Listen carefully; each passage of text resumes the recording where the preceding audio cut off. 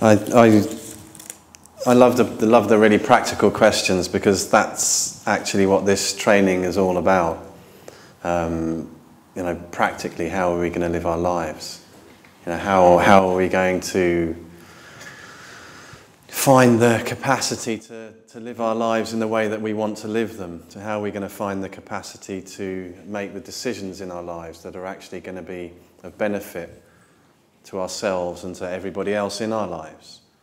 And um, it's amazing actually that that, that that sounds completely obvious because that's, that, that's what we all want. You know, we, we all want to live a life that is going to be fulfilling for ourselves and a life where we're going to be able to support the people that we care about and, and, and do some good in the world. You know, that, that's, it seems so obvious, but that is in itself is quite amazing. You know, that, that shows how natural our beneficial nature is. It's not something that we've had to contrive or, or learn. It's completely natural for us to want the best for ourselves and want the best for everybody. And um, that's just perfectly reflected in all of your practical questions. Because we have this desire, but then practically, how does that look? You know, when we're living our lives, what, what does that mean? You know, how do we make these decisions? And um, it does start with the, the, the proper introduction to open intelligence. Because it's in open intelligence that we find this capacity to really come up with the perfect response and the perfect solution to, to each situation. And this open intelligence is also innate and it's also natural to us. Again, it's not something that we have to get from somebody or that somebody else can give us. We simply have to be introduced to it and then be given a really, a really simple but comprehensive support network that, that will, will teach us, if you like, how we can rely on it in these practical circumstances. And the introduction to open intelligence is as simple as just to stop thinking for a moment. Just to pause your train of thought and notice that there's an alertness, there's a cognizance, the ability to know, and that this is naturally present. So when you stop thinking for a moment, you just allow yourself space to notice that that's the case. And um, what you begin to see, or what I began to see as I, as I just relaxed the need to constantly focus on all of the descriptions. And um, in the Balanced View training, all of the descriptions, all of the things that we can label, all of the things that we can name and describe, um, we could either call points of view or we could call data. And that just helps to keep it really simple. We don't need to try and work out how this particular description is related to that particular description you know, where they come from, what they mean, the fundamental nature of all experience is exactly the same.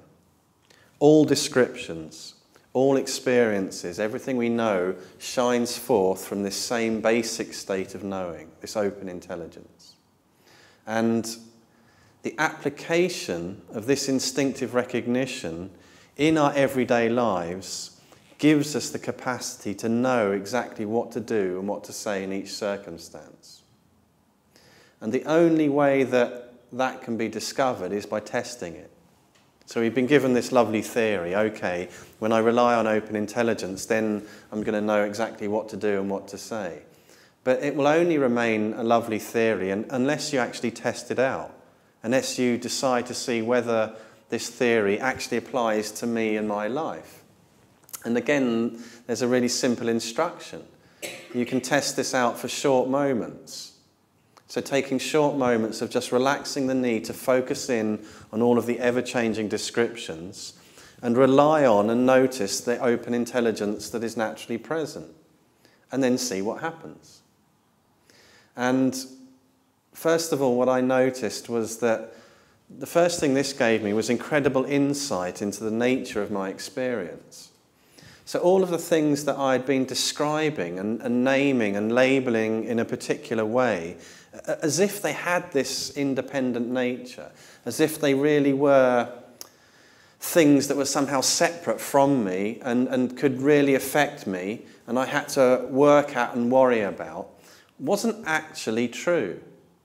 So I was testing in my own experience to see whether there was anything that I could find in my own experience that, that, could, that had this independent nature that was happening anywhere other than within this vast expanse of open intelligence.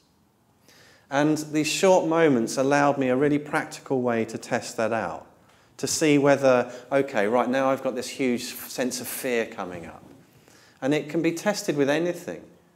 And each moment becomes transformed because rather than being something that we've got to work at to control or understand, something like fear or fear of flying, you know, there's this intense rush of energy, this huge sense of impending doom. You know, the plane's going to crash and I'm going to die, and you know, all of the people that love me will miss me, and you know, all of this stuff that just comes up spontaneously.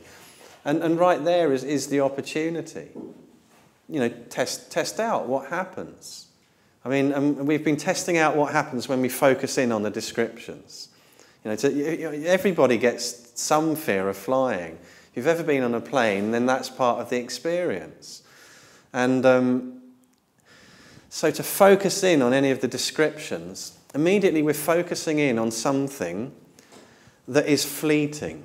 We're trying to hold in place and build a big story about something that, that is like a rainbow appearing in space so that we, we can see it vividly, but there's no way to, to, to grasp it. There's no way to make it, really make it into something, apart from trying to build a huge story around it.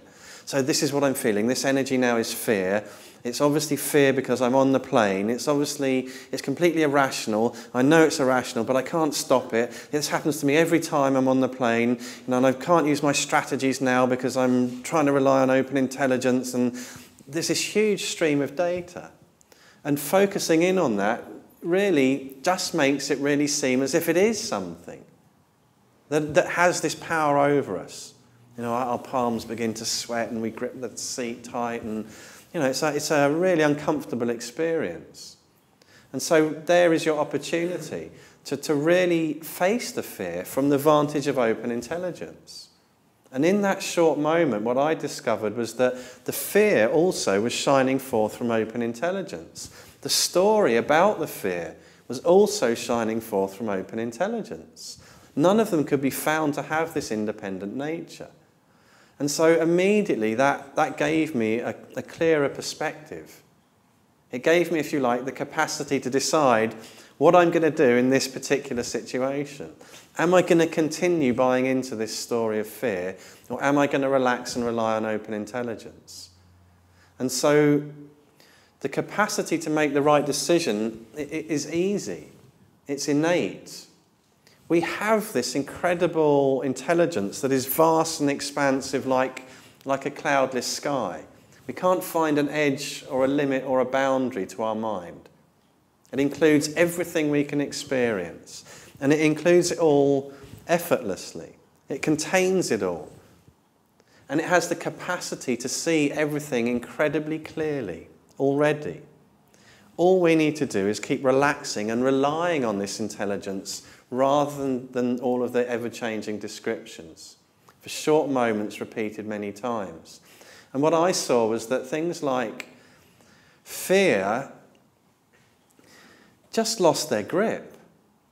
They just lost their grip. For me, I kind of, I never really, the fear of flying was something that came up, but it was never something that I really got caught into much. But I, one of the fears I had was this, this sense of just impending doom. And it was like a, a nameless fear. And it, it didn't make any sense because it wasn't really about anything. But still, I had this sense of this, you know, something is about to go wrong. and, I, you know, it was there. It was like this thing just hovering just, just behind me. And it was there a lot of the time. And it didn't matter that I knew it didn't make sense. It didn't make it go away. It was still there. And now my experience is, is that um, it's just, it's just gone, if you like. If, or if it comes up now, I know what the solution is. The solution is to completely relax and to, to clarify the nature of this, this thought or this emotion or this experience. To see whether I can find, to find this appearing anywhere other than within this expanse of open intelligence. And immediately I check that out for myself, there's this sense of being able to relax with it. It's not something I actually have to give any attention to. I can make the, the correct decision as to how I use my mind. And um, the whole process of decision making is just fascinating. It's, it's, it's wonderful decision making. Um, so it's really actually getting real with ourselves. We're actually becoming more and more familiar with what is actually going on for us in our lives, right here and right now. And seeing that there's this stream of data, there's this stream of descriptions about all kinds of things. And part of that stream of experience or that stream of data is the datum of having to make a decision. But in the same way we checked out the fear, we can also check out the, the datum of having to make a decision. But where does that occur? Does it occur anywhere other than within this vast expanse of open intelligence? In a short moment, the next time a thought of, oh God, I've got to decide that. I need to, I need to decide whether I'm doing this or doing that. You can relax and check out for yourself whether this is occurring anywhere other than, than in, of, as, and through open intelligence. And immediately you check that out, the perspective shifts. This, this whole troubling datum of having to make a decision and having to make the right decision, actually, that becomes much more spacious and open immediately. And what I began to see for myself was that, again, I had all of this story around this one description that would pop up of having to make a decision. Actually, when I look at my life, I'm making decisions the whole time. Every single moment of my life, I'm making decisions. How am I going to move my hands? You know, I'm making these decisions all the time, but most of them I'm not sort of, oh God, right. Do I move my left hand or my right hand first? And, you know, if I move that one there, but then what are all the people out there going to think? And, you know, you're just, you're just living your life and getting on with it. And decisions are being made the whole time as part of this seamless flow without us needing to focus in on them. Now, suddenly something occurs, like what seems like a big decision. I've got to make a decision about my work. You know, this is an important decision.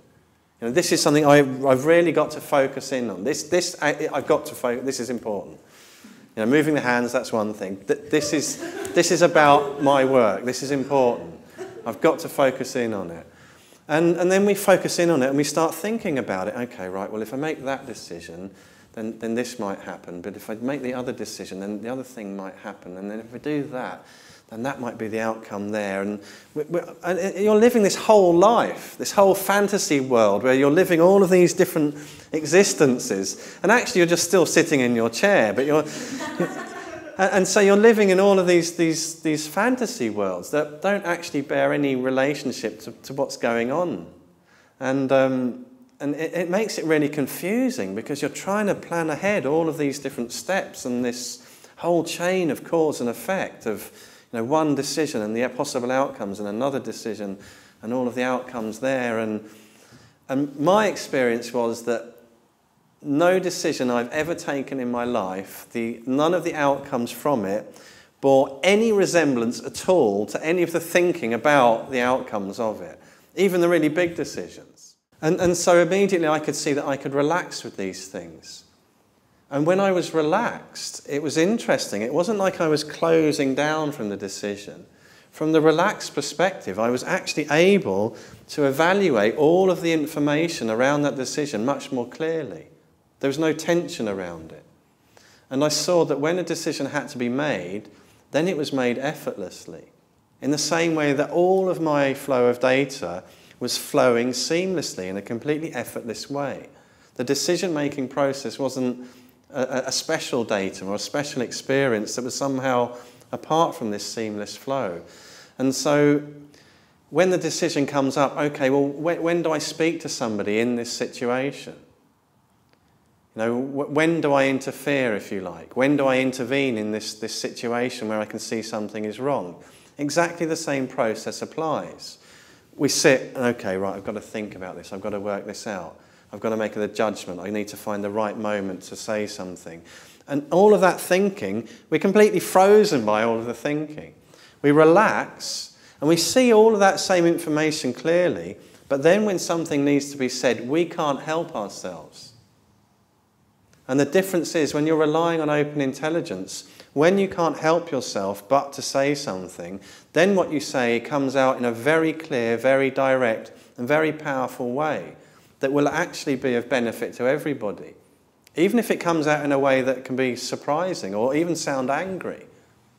When you deeply know the nature of all of your experience, the flow of benefit is obvious too. And it doesn't look in any particular way. So often, just your presence, your firm grounding in knowing your nature as open intelligence, has a huge effect on everybody in that situation. And, and family Family tensions are a perfect example of that. You know, you can see how your gentle openness can have a, a profound effect on really challenging relationships and challenging situations. But there's no fixed way it has to be. There's no rule book in open intelligence. It includes all experience. It includes all data.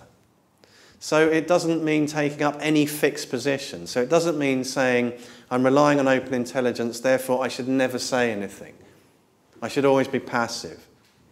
I should never interfere. But at the same time, the other extreme of constantly interfering, constantly meddling, constantly giving your opinion because you're sure you know best, also doesn't need to be taken up. There is this balanced view.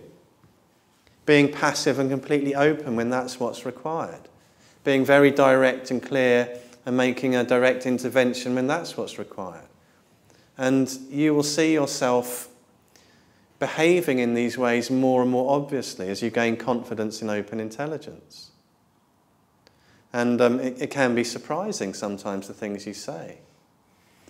But um, it's the, the benefit also sometimes you may not see, or it may not become obvious till a little bit later on. You think, oh my God, what did I just say?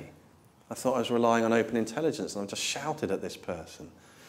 But then what I've seen often is that was exactly what was required in that situation. If, it, if that was what was needed to, to change the situation where it was actually of more benefit to everybody, then that is what will come out of your mouth. And um, it's just, just the, the, the, the desire to care and look after people. I just wanted to mention really quickly when, um, when my father got ill, I, I had lots of ideas and lots of data about um, my parents getting older and caring for them. And, you know, all kinds of ideas like, oh, you know, that's just, you know, you know they, could, they could get some illness that could go on for years and you know, I'm, I don't want to spend my life looking after them and, you know, all of this stuff. And, and then when, when my father did get very seriously ill, all I wanted to do was look after him. And it didn't mean that all of the data disappeared. And all kinds of data can pop up at any time, completely spontaneously. And that doesn't change just because now you're looking after somebody. But the demonstration of open intelligence and its benefit is that all of this unpredictable display of data, all kinds of crazy thoughts and emotions can come up, but none of them have any effect on your capacity to make exactly the right decision in that moment. And that's where the confidence grows. It's not that the data become quieter or less noticeable. It's actually, like you said, usually the complete opposite. Because as we're all our strategies of keeping everything at bay and controlling everything, we relax with those and we see that we don't actually need them. Then all of this stuff that we've been, you know, keeping it, just all just comes really flooding out. And, and, and it can be very intense. And when that becomes intense, that's the time to, to reach for support. That's the time where the four mainstays, the support network, uh, are just priceless. Because otherwise it would be completely overwhelming. It, that's, that would have been my experience, certainly. And yet I had the support to support me each step of the way, to see that I did have the, the stability and the strength to face everything about myself and everything about my life. And um, it's so practical, and my gratitude for that is just immense because I wouldn't have been able to do this on my own. I know I tried, and um, I had some success, but mostly it was really hard work and even more confusing. Even after the correct introduction, I needed that support to apply it in a really practical way. That's when it seemed challenging. That's when this instinctive recognition wasn't obvious.